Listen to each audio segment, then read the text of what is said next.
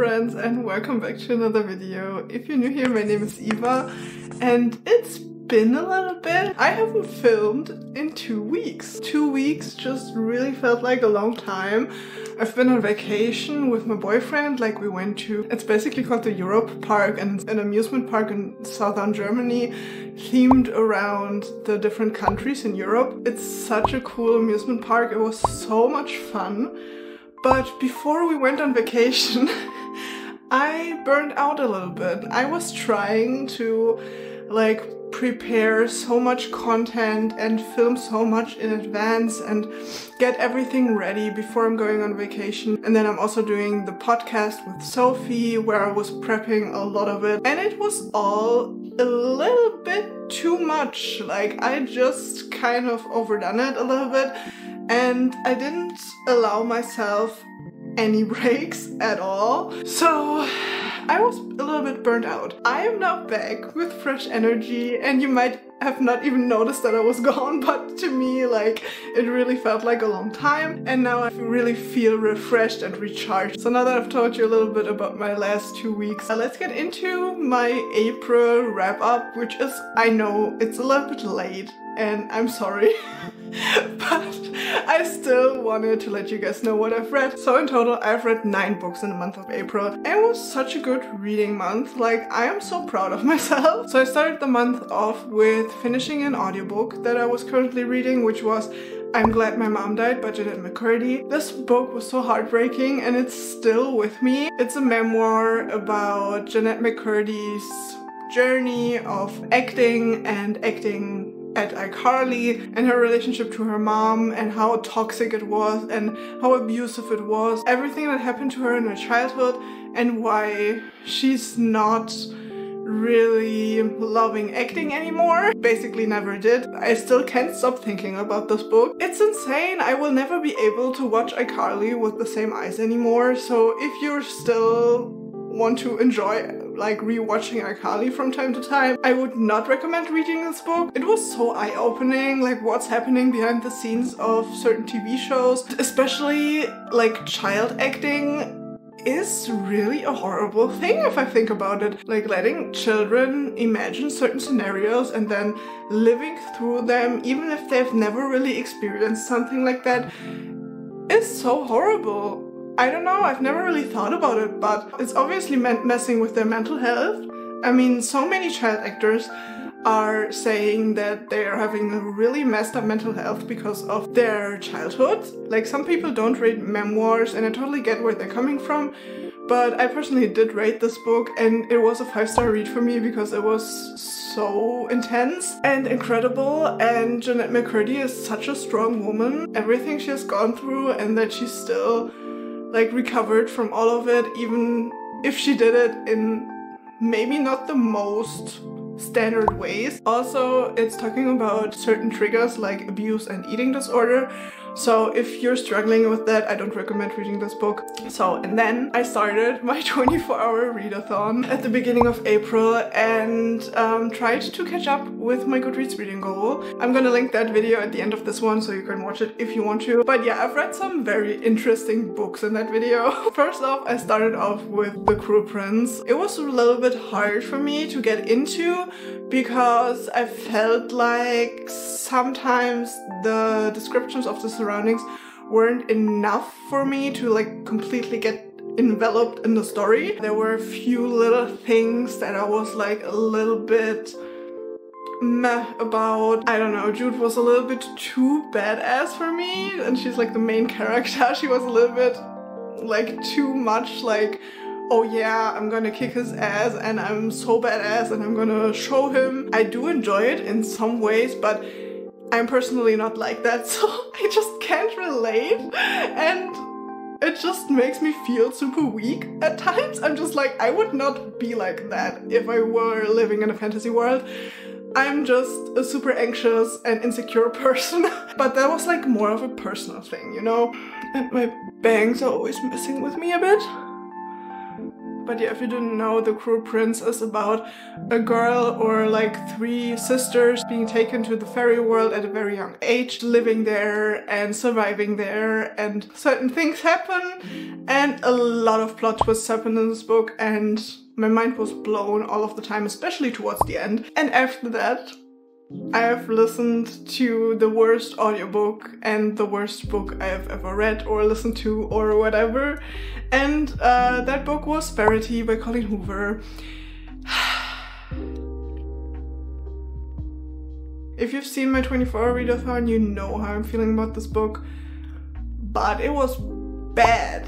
Like bad with a big B, or basically bad in all caps. The abuse in this book was super traumatizing to me personally, especially because the mother who was abusing her child, her very like young infant child, she was abusing that child because the child was apparently autistic and was having like autistic traits like not showing enough emotions and it was really triggering for me because I am a neurodivergent person and I have ADHD, and especially because it was done in such a way that was so unreflected and like completely out of touch. like it had no sense at all except to make the story more catchy and like to blow your mind and stuff. Also, the book was packed with super disgusting spice scenes.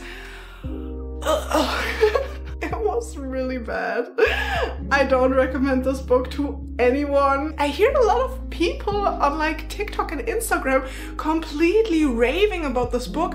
And I mean, everyone should love what they love. Like, I'm not judging, not really anyway. I support you if you love this book. That's fine by me. I just don't understand. Like, if you if you love this book, like please explain it to me, okay?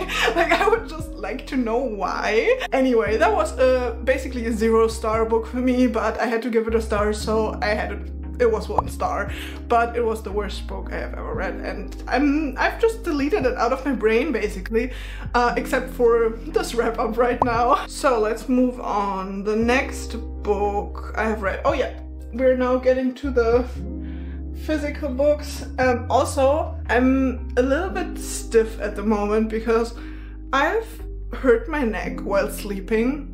Don't ask me how, I just did. Um, and I can basically not move really well. Like, I can't. Oh, it's really hurting really bad. so if I'm moving weirdly from time to time, that's why. So then I have read Heartstopper Volume 5 by Alice Oseman my emotions for this book are I don't know, I can't even express them like my feelings. I'm just I I love these characters. I love this graphic novel. It, it was incredible. I have not much more to say, honestly. Like the feelings that Alice Oseman is able to transport through a bit of drawings and like the magic that this book made me feel was unlike any other. I just I I just can't explain it. I I have no words. It was incredible. It's so good. then I have read Days at the Morizaki Bookshop by Yasatoki by Satoshi Yagisawa. It was really cozy. I was listening to lo-fi music while reading this. It was super nice. Like it was so chill and it also was like one of these books that makes you like reflect your life and think about your life choices and just feel this very cozy vibe and like everything is gonna be okay in the end. And I really needed that after Verity. it was so good. It was really fun and also fast paced. It was super short. The one thing I didn't completely love about this was that there were certain characters introduced towards the end of the book and I wasn't really able to build a connection to these characters because it was just like a really tiny part where they were introduced.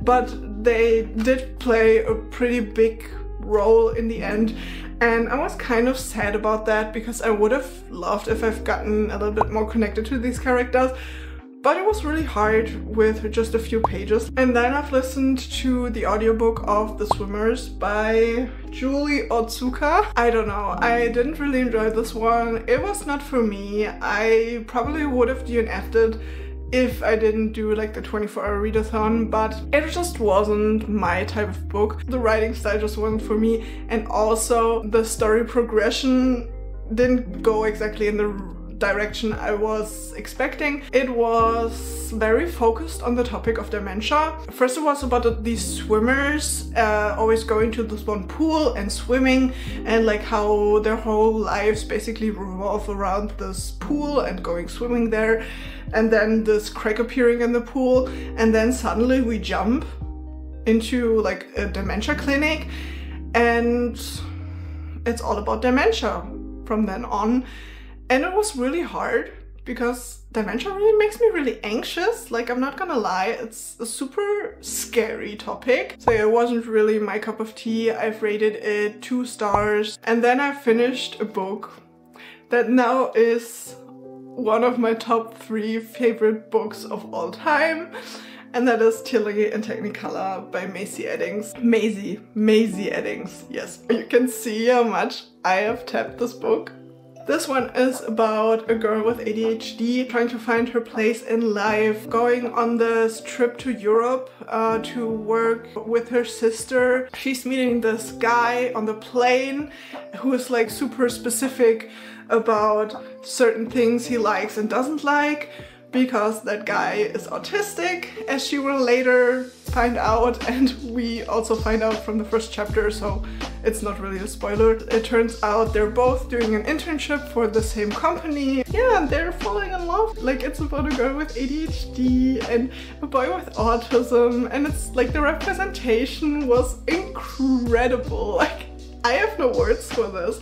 It was so relatable to me and I felt so seen in both of these characters actually because I totally understand Oliver's fascination with creativity and colors and editing and I could just see myself in both of them. It was also a lot focused on the romance so if you're a sucker for YA romance definitely pick this up.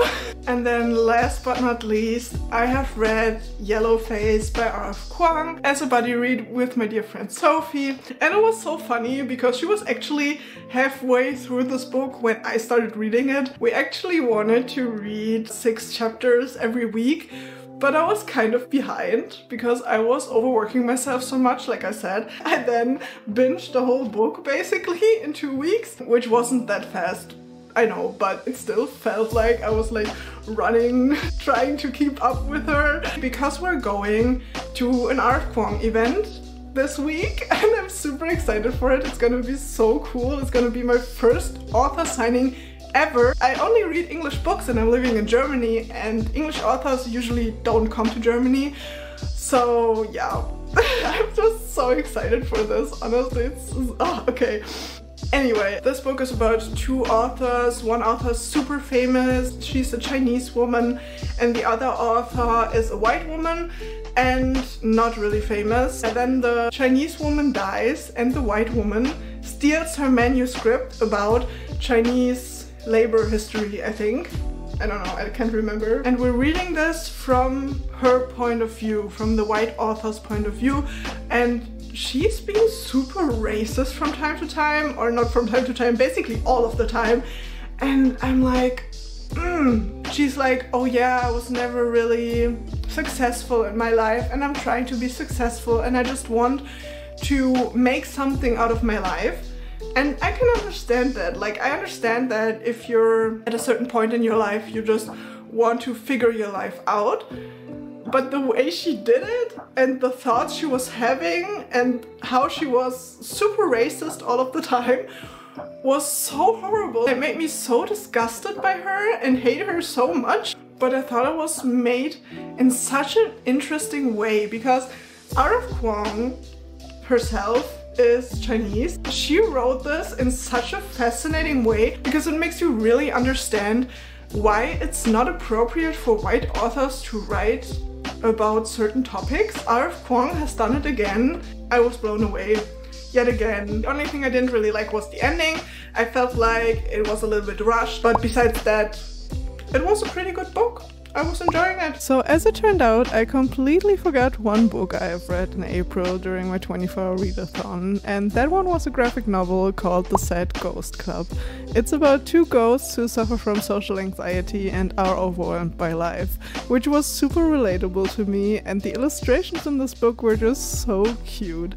I've rated it 4 stars and can't wait to read the next book in the series soon. So yeah, those were all of the books. Oh, wait, wrong side. Those were all the books I have read in April and I'm super happy with this reading month. I'm sad that I'm a little bit behind on my reading, Goodreads reading goal yet again because I've gotten into this burnout, but I will try to find my way out of it.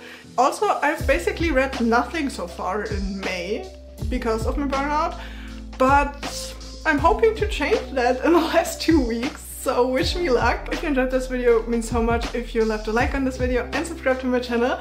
And yeah, I will see you in the next one. Bye!